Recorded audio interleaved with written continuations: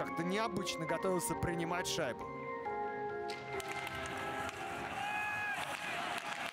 Динауцы зачастили с выигранными вбрасываниями. Сапрыкин мужественно лег под шайбу. Не он первый сегодня. Его фамилия появилась в протоколе.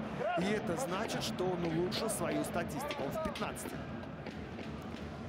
а, в 15 лучших бомбардирах прибывает, а мы смотрим повтор, э, как пострадал Сапрыкин.